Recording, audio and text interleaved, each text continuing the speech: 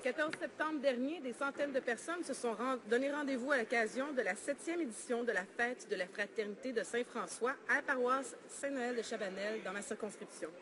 Les citoyens attendent avec impatience cette célébration annuelle qui se veut un moment de rassemblement et de partage entre les nombreuses communautés culturelles présentes dans l'Est de Laval.